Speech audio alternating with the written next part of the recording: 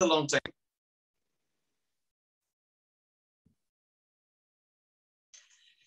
Okay. Though uh, we are meeting after a long time, uh, I am able to recall very well what we were discussing in last lecture. As per your demand, we have started with uh, chemical bonding, which is a very fundamental chapter for uh, JEE, NEET, or many of the competitive examinations which we are going to appear.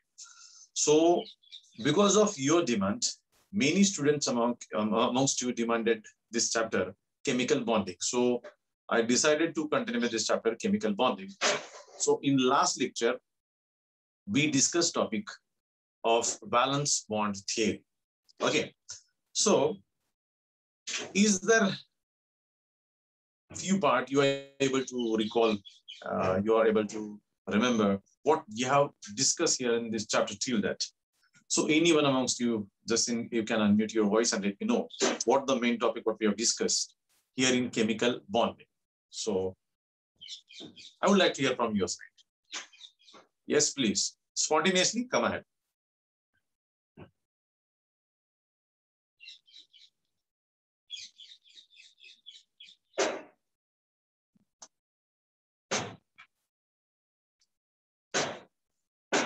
yes we are meeting after almost two weeks.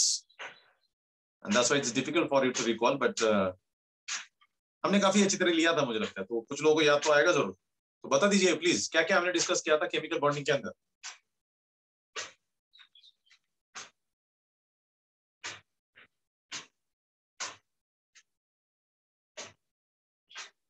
Sir yes Athar बोलो। Sir I guess we were discussing postulates of BBT Balance bond theory. We were discussing. Very good.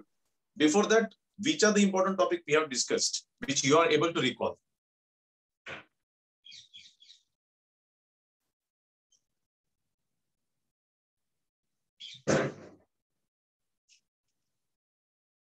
So, Yes, yes, please. so in the beginning, we started with electronic electronic theory of valency. In that, we studied the octet rule.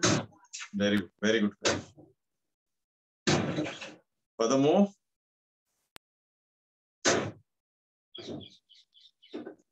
everyone try to recall what we have seen. Everyone, please.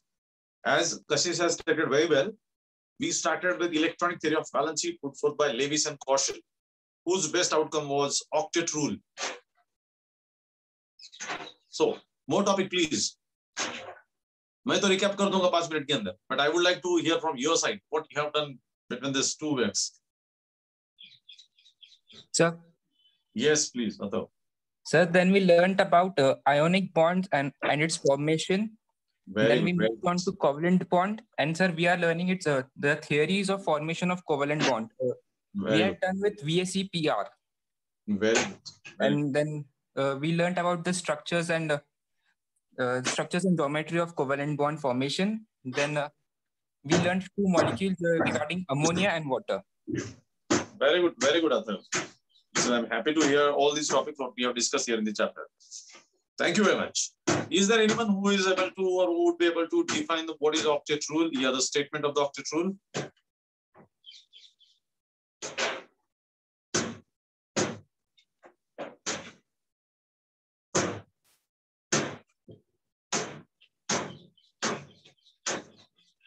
Sir,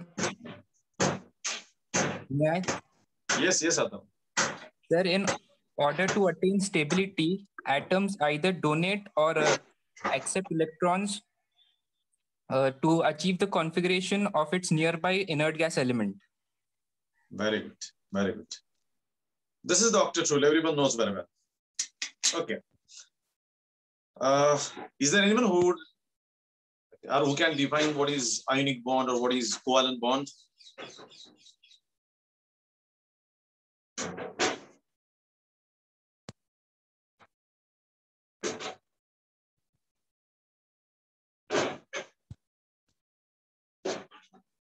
There are 27 people who are logged in. Suppose उसमें से दो हम लोग हैं admin और मैं खुद तो 25 people students are logged in. हो सकता है उसमें से पाँच दस लोग नए हो लेकिन पंद्रह बीस लोग तो पुराने होंगे जिन्होंने ये टॉपिक सुना था। So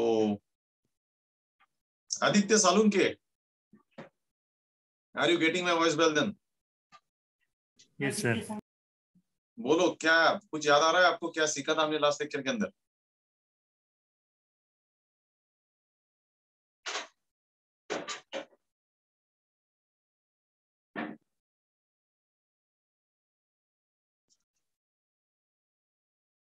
कोई बात नहीं हम लोग पूरे एक पिछले साल से स्ट्रेटेजी लेके आए हैं ना मोनम सर्वार्थ साधनम बट अभी ये नहीं चलेगा कोई बात नहीं। आ, ये बात समझ सकता हूँ मैं क्योंकि थोड़ा सा लंबे समय के बाद वापस हम टॉपिक रिटेक कर रहे हैं तो थोड़ा बहुत आप लोग भूल जाना वगैरह एक्सपेक्टेड होता है। और चलो आप भूल गए कोई प्रॉब्लम नहीं। बट मैं आज आपको पूरा रिकैप हम लोग कवर करेंगे उस टॉपिक का जो हमने डिस्कस किया था। और उस रिकैप के बाद Uh, yes, yes. Uh, someone has, Aditya has, uh, Aditya Arya has text the definition of this one. very good, but you can give definition to the text as well as to the unmuting your voice. Even you can unmute your uh, camera too again. Now we are in 12th standard. So in order to have the interaction, we should have whenever we ask it. So Chalo, I will recap all the topic what we have seen. Uh, thank you Aditya for this uh, sharing your text. We'll recap the topic what we have seen in last lecture. And as I stated, this is very important chapter, fundamental chapter, especially those for those students who are preparing for the JE or NEET examinations. In spite of this lockdown, in spite of this pandemic, in spite of we are not, the schools and colleges are not uh, working properly or not working even at all. Though we have to appear for all these examinations, NEET and JE examinations or E examinations देने पड़ेंगे और उसी के आधार पर हमारे अच्छे colleges के admission done और उसी के लिए ये चैप्टर इंपॉर्टेंट है फंडामेंटल चैप्टर है केमिकल बॉन्ड कम से कम दो मास के बीच तो उसके ऊपर आते हैं जेई नीट में। अब देखिए जेई नीट की बात करें, जो ट्वेल्थ के बाद हमें अपियर करनी है, अभी ना ऑलरेडी आप ट्वेल्थ स्टैंडर्ड में इंटर कर चुके हो। और ये चैप्टर हमारा इलेवन स्टैंडर्ड का बट इट्स फंडामेंटल चैप्टर और काफ़ी सारा important so will have the recap और मैं सजेस्ट करूँगा कि आज आप लोग थोड़ा सा पढ़े। अभी कुछ हद तक लॉकडाउन खुल चुका है। बुक्स बुक स्टोर्स में अवेलेबल है। ऑनलाइन बुक्स ऑलरेडी आपके पास है। अभी बुक स्टोर्स भी खुल चुके हैं कुछ पर्टिकुलर समय के लिए, उसके अंदर आप जाइएगा। बुक स्टोर से फिजिकली बुक भी परचेस करके लेके आएगा, क्योंकि ऑनलाइन लेक्चर भी कर रहे हैं ऑनलाइन भी पढ़ रहे थोड़ी दिक्कत में भी सफ़र कर रहे होंगे आप लोग। तो मैं सजेस्ट करूँगा कि टेक्स्ट बुक ऑलरेडी मिल रहे हैं सारे मार्केट के अंदर, आप जाइएगा और टेक्स्ट बुक खरीद के लाइएगा, ताकि आपको थोड़ा पढ़ना आसान होगा। नोट्स के बारे में, जल्दी हम लोग आठ दस दिन के बारे में आपको बता देंगे कि किस नोट्स के साथ हम लोग इस साल के लिए जाना चाहेंगे बिकॉज़ कुछ अपडेट्स आ चुके हैं नोट्स के अंदर और उसी के लिए हम लोग उसके बारे में एट डेज़ के अंदर आपको उसके बारे में नोटिफिकेशन निकालेंगे। तो कल मैं एक्सपेक्ट करता हूँ कि आप में से ऑलमोस्ट uh, सारे बच्चे प्रिपेयर होंगे केमिकल बॉन्डिंग के साथ। आज अगर कुछ डाउट है रिकैप के अंदर तो प्लीज़ बोलिएगा। ठीक है? Okay chemical bonding is a fundamental chapter as I stated and very good concept we discuss here in this chapter What is bond? Bond, as I stated, it is a force of attraction which holds two or more atoms together. जैसे कि हम water molecule की बात करते हैं H2O, this is HO and H. So these two atoms are held together. These three atoms, मतलब two hydrogen atoms and one oxygen, they are held together in a molecule of water because of this phenomenon called as a bond. Organic chemistry में और ये हम inorganic physical chemistry में bond दिखाने के लिए dash का यूज़ करते हैं ये तो जस्ट एक नोटेशन है, दिखाने के लिए नोटेशन क्या इसे हम लोग बॉन्ड कहते हैं। There is a bond present between oxygen and hydrogen but इसी चैप्टर में देखते हैं कि ये बॉन्ड एक्चुअली क्या फिनोमिना है। उसी लिए तो ये चैप्टर है हमारा केमिकल बॉन्ड तो this bond is nothing but the force of attraction which holds two और more atoms together in a molecule of compound अगर हम लोग मीथेन की बात करते हैं तो मीथेन हम जानते हैं C H H H H अभी कुछ बच्चे बोलेंगे सर बहुत बेसिक से रिपीट कर रहे हैं बिकॉज़ हमारे पास कुछ नए बच्चे जुड़ चुके हैं. सो so, शायद वो समझेंगे नहीं अगर मैं लिए रिकैप करूँगा तो, तो रिकैप इसीलिए थोड़ा सा मैं स्लोली कर रहा हूँ। This is water molecule this is methane molecule दोनों मॉलिक्यूल में देखते हैं हम लोग कि यहाँ पे थ्री बॉन्ड्स है मतलब थ्री एटम्स है two hydrogen atom one oxygen यहाँ पे one carbon atom four hydrogen atoms है। And they are held, uh, held they are hold together due to this bond of spinner तो यही जो bond है इस कार्बन और हाइड्रोजन के बीच में, ये बॉन्ड अगर तैयार नहीं होता था, ये बॉन्ड अगर तैयार नहीं होता था तो वाटर मॉलिक्यूल बनने के कोई चांसेस नहीं थे। हाइड्रोजन अपनी तरीके से रहता था ऑक्सीजन अपने तरीके से रहता था। और वाटर मॉलिक्यूल नहीं बनता था। वाटर मॉलिक्यूल नहीं बनता था तो ह्यूमन इवोल्यूशन भी सिंपली इम्पॉसिबल था। हम समझते हैं ब्यूटीफुल दुनिया ह्यूमन इवोल्यूशन उसके अंदर वाटर का रोल कितना अच्छी तरह जानते हो। So this water is there because of this bond phenomena तो ये बॉन्ड है क्या? ये जानने की कोशिश करनी है इस चैप्टर के अंदर। सारे साइंटिस्ट करते हैं हम भी करेंगे और काफ़ी मस्त फिनोमिना है कि ये बॉन्ड है क्या? सो so, इसी चैप्टर में देखते हैं कि bond is the force of attraction which holds two और more atoms together in molecule of compound किसी भी कंपाउंड के मॉलिक्यूल पे। एक दो दो या दो से ज़्यादा एटम को एक साथ रखने वाला बाँध के रखने वाला अट्रैक्ट करके रखने वाला जो फोर्स होता है उस फोर्स को हम लोग बॉन्ड ऐसे कहते हैं। So this is the force of attraction अभी यहाँ से हमने डैश से दिखाया बॉन्ड बट आप देखिए ना कि मैग्नेट अगर हम लोग किसी मेटल के पास लेके जाते हैं मैग्नेट मेटल के पास उनके बीच में एक फोर्स ऑफ़ अट्रैक्शन होता है। मैग्नेट अट्रैक्ट्स द मेटल तो उनके बीच में एक फोर्स होता है अट्रैक्टिव फोर्स होता है। वो दिखाई तो नहीं देगा आपको, लेकिन फोर्स अट्रैक्ट तो करता है है ना? फोर्स दिखाई नहीं देगा मैग्नेट और मेटल के बीच का बट होता है।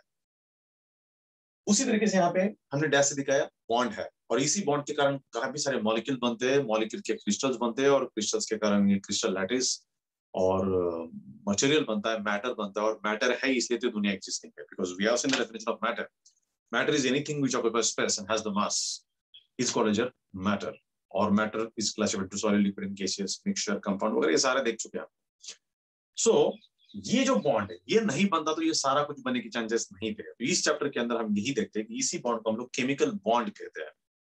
Because it is part of chemistry we are discussing molecule intermolecular force of attraction, uh, intramolecular force of attraction वगैरह वगैरह। So that's why it is called as a chemical bond. Now ये bond किस तरीके से बनता है? कैसे बनता है? कौन से कौन से फैक्टर उसके अंदर रिस्पॉन्सिबल होते हैं? उन्हीं को ढूँढने की कोशिश साइंटिस्ट करते हैं। और इसमें से कई सारे साइंटिस्ट ने कोशिश की और उन्हीं के कोशिश के जो नतीजे थे वही हम इस चैप्टर के अंदर स्टडी करते हैं। उन्हीं के कॉन्सेप्ट इस चैप्टर के अंदर स्टडी करते हैं। कई सारे साइंटिस्ट है, कई सारे थियरीज है उसमें से, कुछ गिने चुने selected world wide accepted theories इस चैप्टर के अंदर लिस्टेड है। तो उसमें से सबसे पहला जैसे बताया कशिश ने आपको कि इलेक्ट्रॉनिक थियरी ऑफ़ बैलेंसी नाम का एक थियरी आता है जो लेविसन पोशन नाम का साइंटिस्ट रखता है। और उस थियरी के हिसाब से, उस थियरी के हिसाब से इलेक्ट्रॉनिक थियरी ऑफ़ बैलेंसी के हिसाब से electron plays very important role the formation of bond and electron का शेयरिंग हो सकता है इलेक्ट्रॉन का लॉस हो सकता है इलेक्ट्रॉन का गेन हो सकता है between the two atoms when a chemical reaction occurs and then the bond is formed. And this is nothing but the octet rule according to this electronic theory of valence. तो electronic theory of valency का सबसे की idea central idea octet rule octa मतलब eight इसका मतलब ये है octet rule ये कहता है कि every atom try to complete eight electrons in it outermost orbit every atom try to complete eight electrons in outermost orbit by losing gaining और शेयरिंग इलेक्ट्रॉन कोई भी एटम दूसरे किसी भी एटम के साथ रिएक्ट क्यों होता है? उसके बारे में हमने देखा था। कि suppose Na plus Cl produces NaCl हमने देखा तो सोडियम का इलेक्ट्रॉनिक कॉन्फ़िगरेशन है 281 क्लोरीन का इलेक्ट्रॉनिक कॉन्फ़िगरेशन है 287 तो यहाँ पे देखते हैं हम लोग ये इलेक्ट्रॉनिक कॉन्फ़िगरेशन अपने टेंथ में देखा था। 281 287 ऐसा आपने देखा तो इसके आउटर मोस्ट में एक ही इलेक्ट्रॉन है, इसके आउटर मोस्ट में सेवन इलेक्ट्रॉन है, और according to octet rule every atom try to complete eight electrons in its outer most orbit so chlorine को भी आठ तैयार करनी, इसको भी आठ कंप्लीट करना है आउटर मोस्ट तो बेटर होता क्या है? This sodium loses one electron to this one तो यहाँ पे तैयार हो जाता है, यहाँ पे तैयार हो जाता है, Na plus plus Q one electron is lost कोई भी एटम जब एक इलेक्ट्रॉन लॉस करता है तो प्लस आ जाता है that is we have two eight आ जाता है और यहाँ पे देखते हैं हम लोग तो chlorine accept one electron minus two eight and इधर सेवन के से एट बन जाता है and they are held together to form NaCl. They are held together to form NaCl. So this is the reaction which happens. तो हम अगर अभी तक की बात करते हैं तो sodium react with chlorine to form NaCl, sodium chloride simple reaction but इस चैप्टर में इस रिएक्शन के पीछे का कारण देखते हैं हम लोग बॉन्ड फॉर्मेशन ही इंपॉर्टेंट फिनोमिना है रिएक्शन के अंदर का। और इसी के लिए this sodium loses one electron and chlorine gains one electron so यही ऑक्टेट्रोल कहता है कि एटम में लूज इलेक्ट्रॉन सम एटम में गेन इलेक्ट्रॉन और सम टाइम इट में भी शेयरिंग ऑफ़ इलेक्ट्रॉन जैसे कि सीएल की बात करते हैं ओ की बात करते हैं तो उसमें इलेक्ट्रॉन का शेयरिंग होता है। And then the bond is form and two or more atoms can be held together this is according to octet rule और ये है इलेक्ट्रॉनिक थ्योरी ऑफ़ बैलेंस का कहना। इसी कारण से सारे मॉलिक्यूल बनते हैं. तो ऑक्टेट रूल एग्ज़ाम ओरिएंटेड बहुत इंपॉर्टेंट है, कॉन्सेप्ट इंपॉर्टेंट है. every atom try to complete 8 electrons in its outermost orbit by losing gaining sharing electron as like nearest inner gas electronic configuration ideal होता है ना हर एक का आइडियल होता है हम भी किसी हमारे सामने कोई ना कोई आइडियल होता है कोई हमारा रिलेटिव होता है कोई बहुत बड़ा आई ऑफिसर होता है किसी का पॉलिटिशियन होता है किसी का कोई प्लेयर होता है आइडियल किसी का कोई हीरो होता है हाँ किसी कोई पिक्चर का डायरेक्टर होगा आइडियल या फिर घर के मॉम डैड भी आपके आइडियल होते हैं भाई आइडियल हो सकता है। We are trying to be like we are trying to create our own word उसी तरीके से हर एटम पीरियोडिक टेबल में इनर गैस के जैसे आठ इलेक्ट्रॉन कंप्लीट करने की कोशिश करता है। मानो कि वो उनके लिए आइडियल ऑलरेडी उन्हें आइडियल गैसेस कहा ही जाता है। So they are trying to complete eight electrons octet rule के हिसाब से। और उसी कारण से दो टाइप के बॉन्ड बनते हैं। एक बनता है ionic bond we are seeing that is called as ionic bond and दूसरा we are seeing called as covalent bond we are seeing this covalent so ionic bond is this जहाँ पे electron lose gain करने के बाद cations और anions तैयार होते हैं कैटायंस एनायंस तैयार होते हैं some atom loses electron that's why cations are formed some atoms gains electrons anions are formed so in which reaction there is a formation of cations and anions, and then they are held together due to electrostatic force of attraction. We are defining ionic bond. This is the bond between these two or more species in which they are held together due to electrostatic force of attraction. So these are held together due to electrostatic force of attraction. That is called, you can say, ionic bonds. These are ions, and oppositely charged ions are held together due to electrostatic force of attraction. This called, you can say, ionic bonds. That is what we can say. Most of the salts are formed by this phenomena or this process. Let's come to this covalent bond. Covalent bond के अंदर जब आते हैं तो we have seen that this covalent bond is uh, formed by sharing of it. जैसे हम chlorine की बात करते हैं क्लोरीन की बात करते हैं या इसी की भी बात करते हैं ना तो इस कार्बन के आउटर में सिक्स इलेक्ट्रॉन्स होते हैं लाइक फोर इलेक्ट्रॉन्स होते हैं आउटर ये फोर इलेक्ट्रॉन्स यहाँ पे हाइड्रोजन का एक एक इलेक्ट्रॉन जुड़ जाता है। हाइड्रोजन का एक एक इलेक्ट्रॉन जुड़ जाता है। तो अभी देखिए ना, ये कार्बन की बात करते हैं तो दिस कार्बन हैज़ खुद के फोर इलेक्ट्रॉन्स और हाइड्रोजन से एक एक शेयर होके एट इलेक्ट्रॉन्स बनते हैं। So when we discuss the methane molecule central carbon carbon के आउटरोम्स में चार इलेक्ट्रॉन्स होते हैं। इलेक्ट्रॉन कॉन्फ़िगरेशन ऑफ़ कार्बन आप जानते हो C6 is equal to 1s2 2s2 2p2 this is is electronic bond this is the first cell. This is the second cell. 10 के हिसाब से देखते हैं तो 2 and 4 this is the electronic configuration of carbon तो इलेक्ट्रॉनिक कॉन्फ़िगरेशन इलेक्ट्रॉन कॉन्फ़िगरेशन का मतलब क्या है? Distribution of electrons in shells and subshells so this is the electronic configuration of carbon जो बताता है कि कार्बन के आउटर मोस्ट में चार इलेक्ट्रॉन है जो यहाँ पे मैंने दिखाया है डॉट से और ये मल्टीपल साइंस इलेक्ट्रॉन दिखाया मैंने हाइड्रोजन हाइड्रोजन के आउटर मोस्ट में एक इलेक्ट्रॉन होता है। सो so, ये शेयर कर दिया दोनों ने। शेयर कर दिया यहाँ पे शेयरिंग है।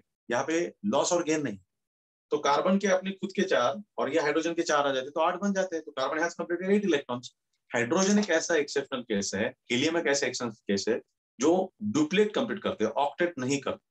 पीरियोडिक टेबल में every atom try to complete eight electrons but ये दो 100% एक्सेप्शंस है। Hydrogen and helium try to complete duplet दो इलेक्ट्रॉन्स कंप्लीट करने की कोशिश करते हैं। इस हाइड्रोजन के दो हो जाते हैं, ये खुद का और ये कार्बन का, कुल मिला के उसके दो हो जाते हैं तो वो स्टेबल बन जाता है। So that is what we can say but this is the covalent here the bond between carbon and hydrogen is equivalent bond because it's the uh, formed by sharing of electrons so the bond which is formed by sharing of electrons between two or more atoms is called you can say covalent bond so there are many examples many molecules we can which we can explain on the basis of this uh, bond formation. That is, there is a sharing of electrons between them. Clear with this? So this is what we have here. Ionic bond and covalent bond. These two bonds are explained by uh, octet rule or because of the octet rule we. Clear with this? Furthermore, when uh, we uh, go beta ahead, so we have seen that uh, uh, here, ये जो molecules होते हैं, this molecule has the geometry. This molecule has the geometry. खास करके इस carbon की बात करते हैं मीथेन की, तो methane has the geometry. This hydrogen has geometry like this. This is the tetrahedral geometry. carbon has a tetrahedral geometry uh, methane molecule has a tetrahedral geometry sorry तो methane molecule has tetrahedral geometry किस कारण से tetrahedral geometry होती है और science में ये भी देखा जाता है केमिस्ट्री में ये भी पाया गया है कि जिस तरीके से स्ट्रक्चर होगा होता है, उसी तरीके से उसके प्रॉपर्टीज़ होते हैं। तो properties depends upon the structure तो मिथेन मॉलिक्यूल का स्ट्रक्चर अगर टेट्राहेड्रल ज्योमेट्री का है तो ये टेट्राहेड्रल ज्योमेट्री किस तरीके से बनती है, किस कारण से बनती है? इलेक्ट्रॉन शेयरिंग वगैरह तो ठीक है लॉस ऑफ़ गेन इलेक्ट्रॉन तो पॉसिबल है बट ये इलेक्ट्रॉन शेयरिंग के बाद ये ज्योमेट्री क्यों अलग होती है? और इसी के बारे में हमने V S E P R three देखा। V S E P R three so हमने देखा V S E P R three valence shell electron pair repulsion theory ये थियरी इस ज्योमेट्री के बारे में बात करता है। इस ज्योमेट्री के बारे में बात करता है। तो वैलेंस सेल आप सब जानते हो valence shell outermost shell is called valence shell अभी इस कार्बन का इलेक्ट्रॉनिक कॉन्फ़िगरेशन में दिस इज़ आउटरमोस्ट शेल कितने शेल्स होते हैं तो हर एटम के अंदर अनलिमिटेड शेल्स होते हैं। बट कौन सा काउंट किया जाता है? जिसमें लास्ट इलेक्ट्रॉन आकर होता है। कार्बन का लास्ट इलेक्ट्रॉन टू पी में है। तो two P is called as outer most shell may be sub shell तो second shell is outer most shell and two P is a sub shell तो carbon का outer most shell जो है, वो to P है या to है? तो इसके अंदर जो इलेक्ट्रॉन प्रेजेंट है, उन्हें बैलेंस इलेक्ट्रॉन कहा जाता है। आउटरमोस्ट सेल जिसके अंदर इलेक्ट्रॉन्स होते हैं, उसे बैलेंस सेल कहा जाता है। और कार्बन के केस में ये जो टू सेकेंड नंबर का सेल है, वो बैलेंस सेल है बिकॉज़ इसमें ही सारे लास्ट इलेक्ट्रॉन्स होता है। उसे बैलेंस सेल कहा जाता है। और उसके अंदर के इलेक्ट्रॉन्स को बैलेंस इलेक्ट्रॉन कहा जाता है। The electrons present in the outermost shell are shell और valence electrons so valence shell electron pair repulsion और हम जानते हैं electrons are negative charge there is a repulsion between electron electron so जैसे कि हम देखते हैं कि यहाँ पे इलेक्ट्रॉन का पेयर है, ये दोनों, यहाँ पे इलेक्ट्रॉन का पेयर है, यहाँ पे इलेक्ट्रॉन का पेयर है यहाँ पे इलेक्ट्रॉन का पेयर है. ये जो इलेक्ट्रॉन का पेयर है they may be bonded they may be non bonded और वो उनके बीच में रिपल्शन होता है. तो ये जो इलेक्ट्रॉन्स है, वो एक दूसरे से दूर जाता है.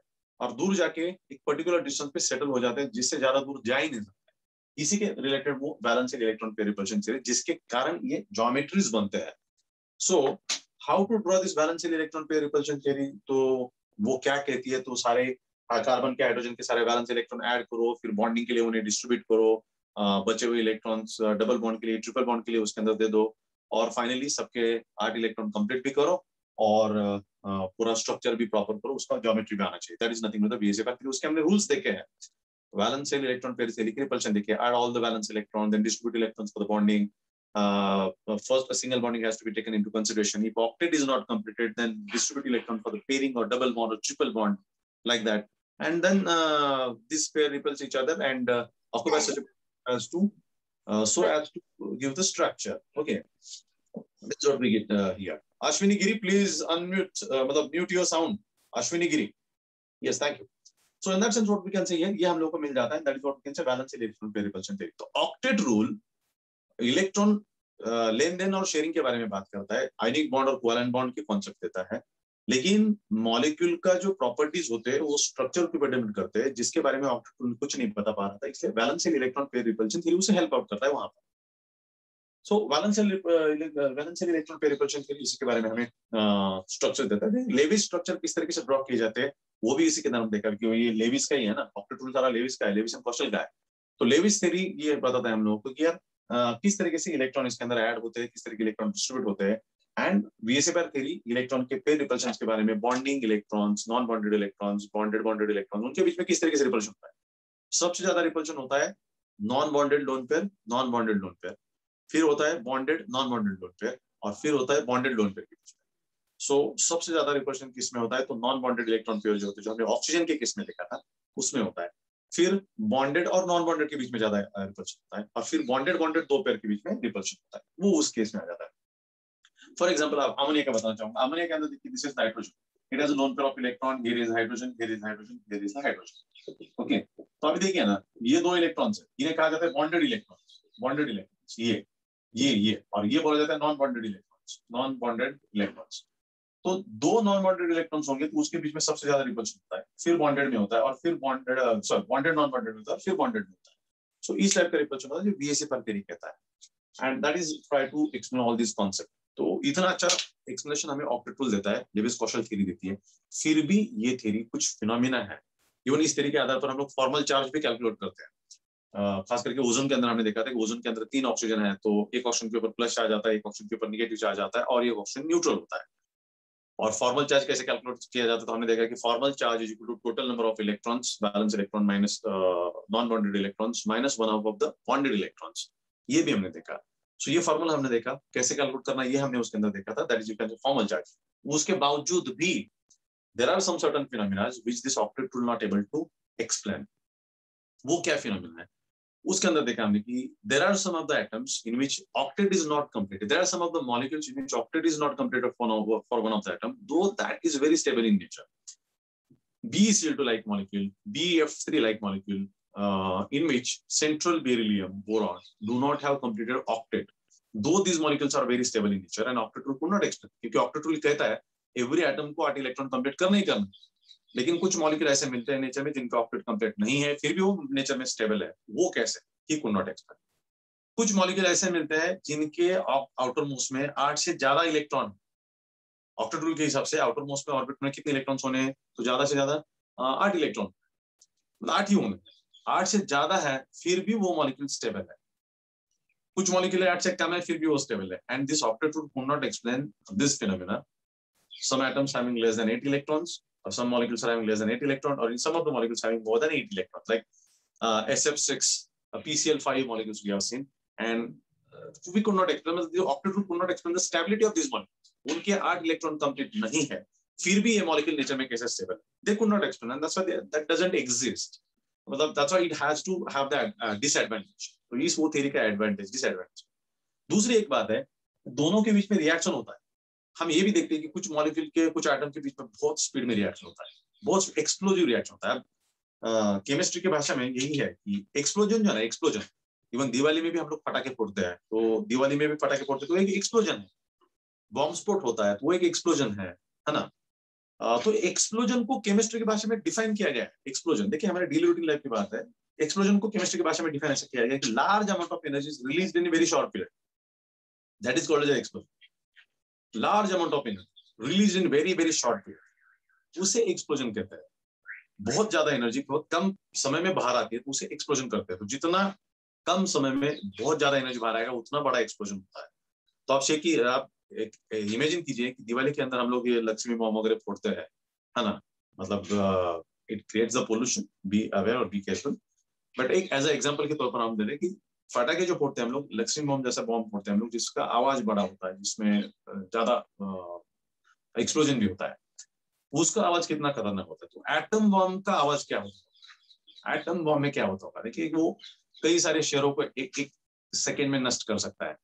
इतना ज़बरदस्त होता है एटम कितनी large amount of energy release होती होगी very within very very fraction of second like that all these reactions are going on the surface of the sun regularly और continuously explosion so that is fission and fusion reaction and that's why sun exists हम जानते from which we get the source कहने का मतलब ये है when large amount of energy is released in very very short period that is called as a explosion कुछ reaction वो reaction है केमिस्ट्री की भाषा में बहुत फास्ट रिएक्शन और यही साइंटिस्ट के सामने आता है कि कुछ रिएक्शन बहुत फास्ट है क्यों वैसे फॉर हाइड्रोजन और फ्लोरीन की बात करते हैं तो हाइड्रोजन फ्लोरीन के बीच में बहुत फास्ट में रिएक्शन होता है वाई और क्यों कैसे क्या रीजन है उसके पीछे octet rule could explain that मतलब energy and reactivity both are related with each other higher the energy then higher the reactivity the energy, small is the reactivity.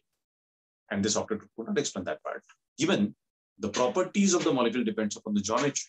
Geometry कैसे बनते हैं उसके बारे में भी कुछ परफेक्शंस ये ऑक्टेटूल नहीं दे पाता है, और इसलिए ऑक्टेटूल यहाँ पे फेल हो जाता है।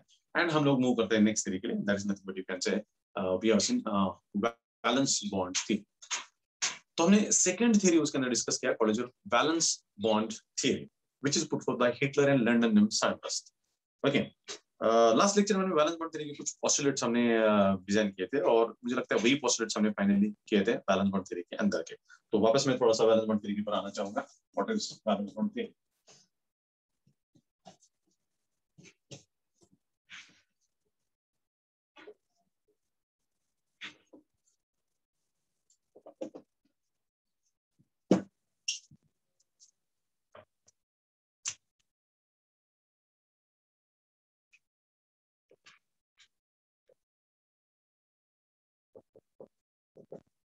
in short in short called VBT even exam में भी पूछा जाता है, याद रखिएगा। एग्ज़ाम में भी पूछा जाता पूछा जाता है। Explain the postulates of VBT valence bond theory so, this is valence bond theory, put forth by Hitler and London scientists वो हिटलर वाला नहीं है जो हिस्ट्री के अंदर फ़ेमस था, ये साइंटिस्ट हिटलर की बात कर रहे हैं हम लोग। Heitler and London these are the scientist for the theory that is valence bond theory उन्होंने कुछ अपने पॉस्टुलेट्स रखे। पॉस्टुलेट्स रखे।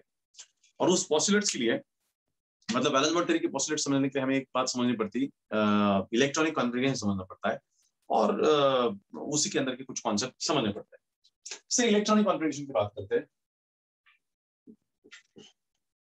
इलेक्ट्रॉनिक कॉन्फ़िगरेशन ओके हम लोग बात करते हैं कार्बन की। कार्बन का सिक्स है one s two two s two two p two so this is one s this is 2s and this is 2p so this is 1s 2s 2px 2py 2pz इसमें दो electron दिखता है up and down इसमें दो दिखते हैं up and down इसमें दो ही दिखता है up up and up like this one this is what we can say अभी देखिए एटम्स के अंदर शेल्स है.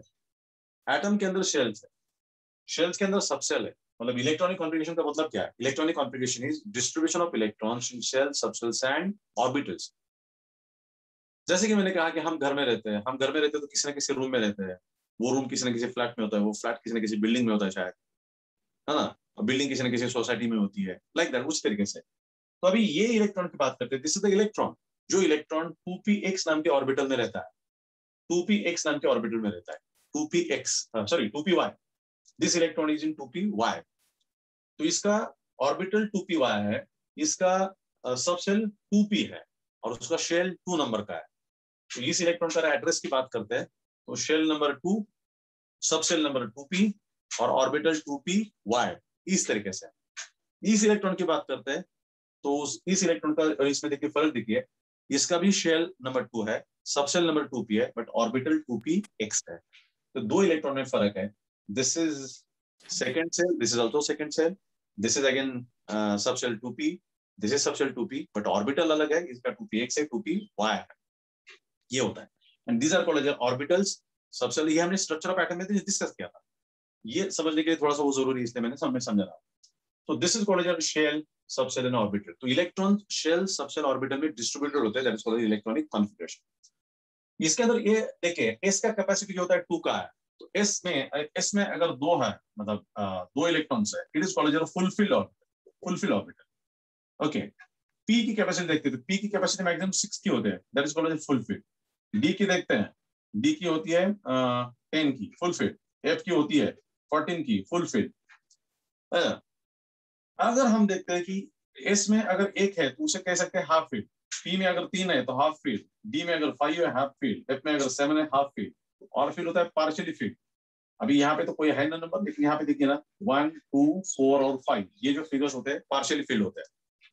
तो पी नाम का सबसेल पी नाम का सबसेल जिसके अंदर छह इलेक्ट्रॉन्स हो सकते हैं तो उसे फुलफिल कहा जाएगा। मैक्स सेल छह ही बैठ सकते हैं तो उसे फुलफिल कहा जाता है।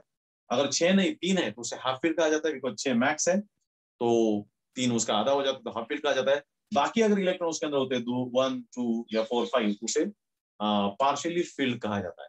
उसे पार्शियली फिल कहा जाता है। तो in that sense you can see here d में भी ऐसा है ten is full fill five is half fill and बाकी all numbers are partially fill उसी तरीके से। तो हम ऑर्बिटल की बात करते हैं। When we talk about the valence bond theory, we talk about the orbital so this orbital is half filled because इसके अंदर दो इलेक्ट्रॉन होना ज़रूरी था, लेकिन एक ही है। This two p y orbital is also दो होना चाहिए था, एक ही है। और दिस इज़ एम टी इसके अंदर मैक्स दो होते हैं, वहाँ पे एक भी electron that mean this is empty orbital तो ऑर्बिटल का कॉन्सेप्ट देखिए। This is you can say half filled orbital this is you can say empty orbital और एम टी और empty orbital this is full filled orbital full fill orbital so this is the concept तो जब दो atom इकट्ठा आते हैं, दो atom जब अप्रोच होते हैं एक दूसरे को, ये जो ऑर्बिटल है, ये ऑर्बिटल मैटर करता है। बैलेंस बॉन्ड थ्योरी इसके साथ जुड़ा हुआ है। बैलेंस बॉन्ड थ्योरी अच्छी तरह जानता है कि एटम के अंदर एम्प्टी ऑर्बिटल्स होते हैं हाफ़ फिल ऑर्बिटल्स होते हैं फुलफिल ऑर्बिटल्स होते हैं, और उसी के साथ ये जुड़ा हुआ है। बैलेंस बॉन्ड थ्योरी के पॉसिलेट्स बैलेंस बॉन्ड थ्योरी के पॉसिलेट्स ये कहते हैं नंबर वन पॉसिलिटी ये है bond is formed between the two atoms by overlapping of half filled atomic orbitals. Half filled atomic orbitals. देखिए कार्बन और हाइड्रोजन के बीच में बॉन्ड तैयार होता है। Methane molecule this is methane molecule methane molecule में कार्बन हाइड्रोजन के बीच में बॉन्ड तैयार होता है। सो so, इस कार्बन का हाफ़ फ़ील्ड ऑर्बिटल हाइड्रोजन के हाफ़ फ़ील्ड ऑर्बिटल के साथ ओवरलैप होता है। इस कार्बन का हाफ़ फ़ील्ड ऑर्बिटल होता है और हाइड्रोजन का भी हाफ़ फ़ील्ड ऑर्बिटल होता है। Two different atoms half filled orbitals of two different atoms, overlaps with each other, overlapping like this one, overlapping like this one. तो में से कोई लोग सिंगिंग जानते होंगे तो सिंगिंग में ओवरलैपिंग साउंड्स होते हैं। थोड़ा बहुत कोई जानता है सिंगिंग में। ड्यूएट जब गाता है मेल फीमेल तो ओवरलैपिंग होता है मतलब मेल के साथ साथ फीमेल भी गाता है फीमेल के साथ साथ मेल भी गाता है। थोड़ा सा पीछे आगे करके। दैट इज़ कॉल्ड ओवरलैपिंग यहाँ पे ओवरलैपिंग मतलब इस तरीके से होता है, आगे समझ में आएगा so half filled orbital of carbon overlaps with half filled orbital of hydrogen half filled ज़रूरी है और दो डिफरेंट एटम ज़रूरी है। तो हियर पहला ये कहता है equivalent bond is formed by overlapping of half filled orbitals so overlapping होना ज़रूरी है और हाफ़ फ़ील्ड ऑर्बिटल्स होना ज़रूरी है। टू डिफरेंट एटम्स का ये हमारा पहला पॉसिलेट ओके दूसरा पॉसिलेट है। Half filled orbital has single electrons या unpaired electrons compulsory half filled मतलब अनपेड इलेक्ट्रॉन होता ही होता है और एक ही होता है and that's why it is called half filled तीसरा after overlapping spins are resolve spins are resolve इसका जो इलेक्ट्रॉन है, ये अपवर्ड है अपवर्ड डायरेक्शन में. इलेक्ट्रॉन के स्पिन होते हैं clockwise anti clockwise upward is clockwise downward is anti clockwise तो दो एटम हाइड्रोजन का एटम का स्पिन अलग हो सकता है, इसका स्पिन अलग हो सकता है. But when they overlap at the time they spins are resolve sorry इसकी पहली ये केस है मतलब यहाँ पे हम देते हैं, यहाँ पे लेते हैं. Opposite spins of electron opposite spins of electron means ये नेसेसरी कंडीशन है कि हाइड्रोजन का इलेक्ट्रॉन डाउनवर्ड होना चाहिए जब इसका अपवर्ड है। तो एक अपवर्ड है तो एक डाउनवर्ड होना ज़रूरी है, तभी जाके उनके बीच में ओवरलैपिंग की चांसेस है। दोनों अपवर्ड होंगे ओवरलैपिंग नहीं होगा। दोनों डाउन होंगे वर्ड होंगे तो आप ओवरलैपिंग नहीं होगा। सो ओवरलैपिंग लिए मस्ट कंडीशन है। Overlapping atomic orbitals must have opposite spins of electron लेकिन जब ओवरलैपिंग होता है तो स्पिन्स आर रिजॉल्व दोनों स्पिन्स रिजॉल्व होते हैं। मतलब एक क्लॉकवाइज होता है, एक एंटी क्लॉकवाइज जो यहाँ पे दिखता है। एक क्लॉकवाइज है एक anti clockwise when they are overlap होना ही होना ऐसा ही होता है। Okay fourth density. Electron density concentrate in the region between the two nuclei. After overlapping, इसके इलेक्ट्रॉन यहाँ पे आ जाते हैं इसके इलेक्ट्रॉन भी यहाँ पे आ जाते हैं। तो ये बीच में दोनों के बीच में इलेक्ट्रॉन डेंसिटी आ जाती है। दोनों एटम के बीच में इलेक्ट्रॉन डेंसिटी आ जाती है। हाइड्रोजन के सारे इलेक्ट्रॉन्स यहाँ पे आ जाते हैं कार्बन के सारे इलेक्ट्रॉन यहाँ पे आ जाते हैं। सारे मतलब ये नहीं आते जो इसके साथ जुड़े हुए हैं। लेकिन इट इज़ एक्सपेक्टेड कि जो मैक्स डेंसिटी है वो इस तरफ़ दोनों के बीच में आए। तो अभी इसका डेंसिटी इधर भी डिस्ट्रीब्यूटेड इधर भी डिस्ट्रीब्यूटेड वो अलग बात है, लेकिन वो आ जाते हैं। अगर हाइड्रोजन की बात करते हैं दिस इज़ हाइड्रोजन यहाँ पे बोल सकते हैं तो ये इलेक्ट्रॉन जो है, इस हाइड्रोजन के सारे इलेक्ट्रॉन इधर आते हैं, इस हाइड्रोजन के सारे इलेक्ट्रॉन आ जाते हैं। यहाँ पे एक ही है बट जितने भी होंगे जनरली यहाँ पे आ जाते हैं, ऐसे इसका कहना है। तो electron density concentrate in the region between the two nuclear दो न्यूक्लियर के बीच में इलेक्ट्रॉन डेंसिटी बढ़ता है कॉन्सेंट्रेट होता है, ऐसा इसका कहना है। फिर, कितने बॉन्ड तैयार होते number of bond is equal to number of unpaired electron या number of half filled atomic orbitals कोई भी एटम कितने बॉन्ड तैयार कर सकता है? हम अच्छी तरह जानते हैं कार्बन इज़ टेट्रावैलेंट कार्बन जहाँ कहीं मिलेगा आपको चार ही बॉन्ड तैयार करके दिखाई देता है। What's the reason behind carbon के आउटर मोस्ट में चार हाफ़ फिल्ड इलेक्ट्रॉन है। एक, दो, तीन, चार, ये इलेक्ट्रॉन दिखता है। तो यहाँ पे दो इलेक्ट्रॉन कार्बन कार्बन के आउटर मोस्ट में वैलेंस में चार अनपेड इलेक्ट्रॉन्स हैं फोर बॉन्ड्स तो कोई भी एटम कितने बॉन्ड तैयार कर सकता है? तो that is equal to unpaired electrons in outmost orbit या फिर half filled atomic orbit is equal to half filled atomic orbit number 6 strength of bond depends upon the overlapping strength of bond depends upon overlapping मतलब ये दोनों का overlapping कितना मज़बूत है? अभी देखिए, मैं, मानो आप कहीं जा रहे हो और आप आपके कहीं मानो स्लाइड हो रहा है। और एक स्लोप ऐसा है, स्लोप से आपका दूसरा स्लाइड हो रहे हो और आपके दोस्त को आपने पकड़ा और दोस्त का हाथ आपने पकड़ा।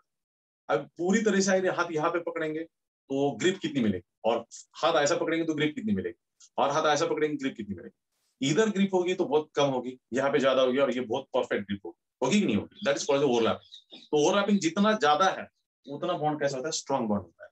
सो सिक्स ये कहता है कि strength of bond depends upon extent of overlapping if extent of overlapping is larger bond is stronger extent of overlapping is smaller bond is weaker ऐसे इसका कहना है। तो strength of bond depends upon extent of overlapping extent मतलब प्रमाण। कितनी ज़्यादा मात्रा में उनका ओवरलैपिंग होता है? जितना ज़्यादा ओवरलैपिंग उतना ज़्यादा अच्छा बॉन्ड स्ट्रॉन्ग बॉन्ड तैयार होता है, ऐसा इसका कहना है।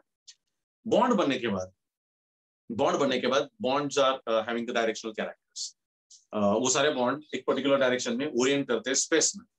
And they acquire specific geometry specific geometry के अंदर चले जाता है these are the postulates of this valence bond So once again, this postulate revise karta hu.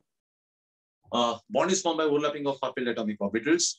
Then uh, uh, um, the uh, overlapping atomic orbitals should have opposite spins of electron. After overlapping, spins of electrons are resolved, neutralized hote hain.